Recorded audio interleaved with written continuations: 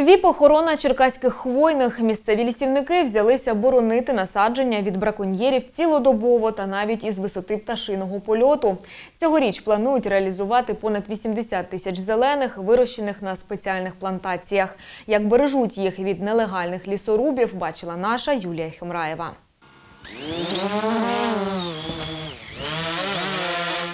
Так починає свою роботу електронний працівник лісу. Квадрокоптер пильнує браконьєрів з висоти пташиного польоту. Якщо ми, наприклад, побачимо якихось порушників, можемо е, в турборежимі його опустити, зафіксувати як на фото, так і на відео. Окрім електронного нагляду, ще цілодобово чергують та патрулюють за спеціально розробленими маршрутами. І навіть власноруч пошкоджують товарний вигляд, аби зберегти дерево. І зламаємо одну віточку, мотовку, і вона вже втратить е, цінність. Той, хто прийде заготовлювати на новорічну ялинку, він побачить, що ну, тобто він за неї нічого не вторгує. Нині ж обласні ліси цілодобово патрулюють 72 бригади. Начальник лісового господарства каже, цьогоріч мисливців поменшало, штрафи збільшились.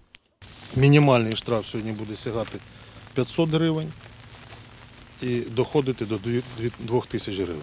Якщо ялинка стоїть 45 гривень, а мінімальний 500, я думаю, стоїть задуматися. Полісмени щитують на браконьєрів уже на дорозі. Ті гальмують автівки на перевірку легальності новорічних.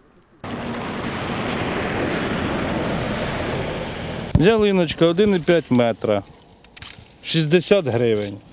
Є смисл за 60 гривень їхати у ліс. Більше бензину спалиш, чим вона, чим вона стоїть.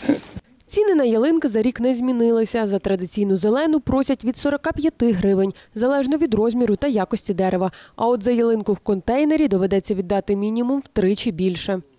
Перед святом не бажано, звісно, заносити у тепло, щоб вона була у ну, в прохол- прохолоді, а щоб не, щоб не, пересохла земля. І вже після того, як перед святами її поставити, то її також треба поливати, щоб слідкувати, щоб оце ґрунт, у ґрунті постійно була волога, і щоб потім зразу після свят її зразу ж висадити. Найбільший же ажіотаж на ялинки стартує зазвичай за 10 днів до Нового року. Тоді зелене патрулювання поширять і на муніципальні інспекції міст.